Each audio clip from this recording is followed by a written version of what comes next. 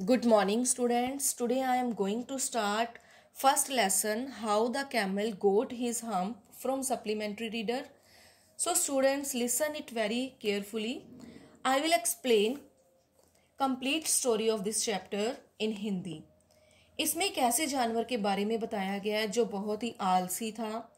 ना तो कोई काम करता था, ना ही कुछ बोलता था। बस हम्फ कहता रहता था। वो आज हम इस स्टोरी में पढ़ेंगे कि वो किस तरह का जानवर था, उसके साथ क्या हुआ, कौन सा वो जानवर था, ठीक है? स्टार्टिंग में ये वर्ड बना ही था और एनिमल्स ओनली ह्यूमन बींग्स के लिए काम करते थे। एक कैमल था जो कि एक सुनसान डेजर्ट में रहता था।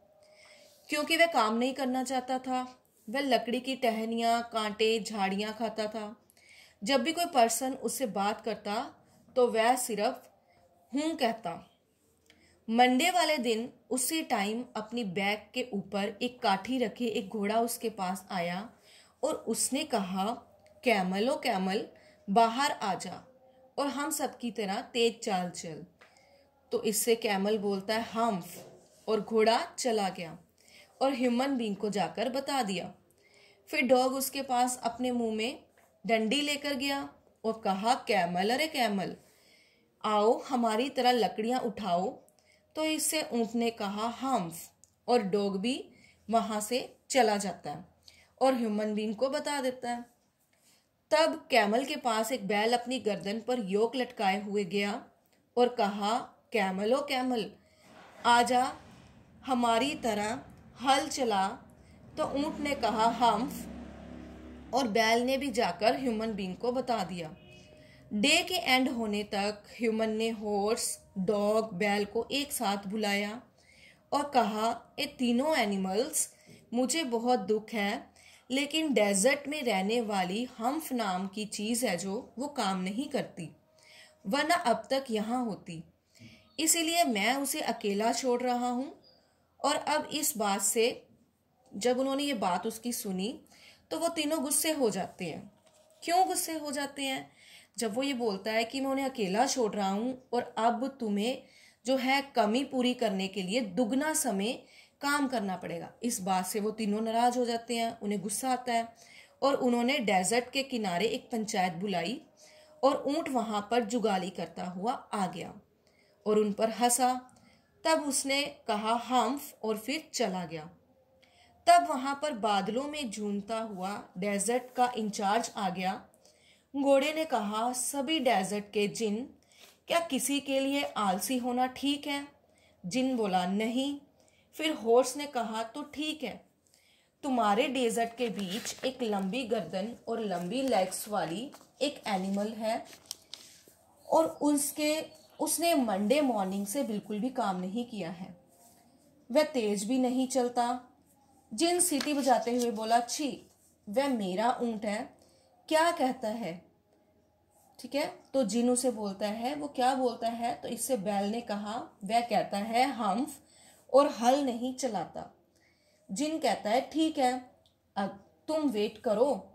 अगर तुम थोड़ा सा वेट करोगे, थोड़ा टाइम मुझे दोगे तो मैं उसे एक पल में सुधार दूँगा। जिन ने अपने आप को धूल से बने एक लंबे कोट में लपेट लिया और मरुस्थल के पास चला गया और देखा कि कैमल अपनी परछाई पानी के पूल में देख रहा था। वह कहता है कि, मेरे दोस्त, ये मैं क्या सुन रहा हूँ कि तुम कोई काम नहीं करते। जिन अपनी ठोडी अपने हाथ में लेकर बैठ गया जिन ने कहा, तुम्हें अपने आलसे के कारण तुमने मंडे से अब तक तीनों के लिए एक्स्ट्रा काम छोड़े हैं। ऊट ने कहा, हम जिन ने कहा, अगर मैं तुम्हारी जगह होता तो यह मैं वर्ड फिर से नहीं बोलता। जिन ने यह बात कही कि मैं कि मैं चलता हूँ तुम काम करो तो फिर ऊँट जो है वो दोबारा हम्फ करता है।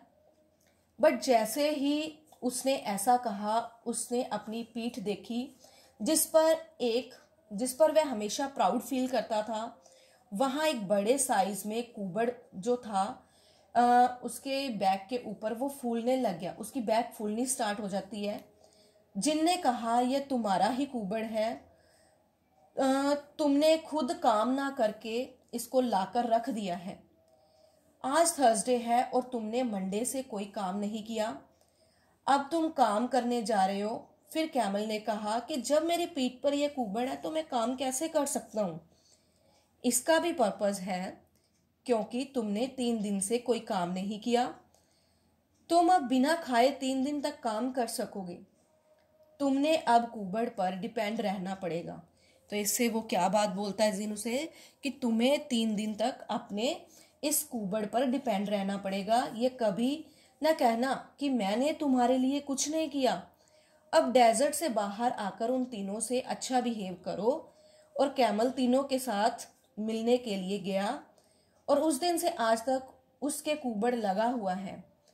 हमें, हम इसे कुबड़ कहते हैं ताकि उसकी फीलिंग्स हर्ट ना हो। बट अभी तक उसने थ्री डेज़ के लिए जो उसकी जो कमी थी, उसको उसने पूरा नहीं किया है, जो उसने वर्ड को बिगनिंग में गवाए थे।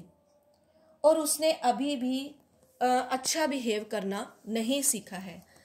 तो स्टूडेंट्स ये थी जो आज story how the camel got his hump तो ये पूरी एक्सप्लेनेशन थी हिंदी में। तो मैं होप करती हूँ कि आज ये स्टोरी आपको अच्छी तरह से समझ आ गई है। Thank you students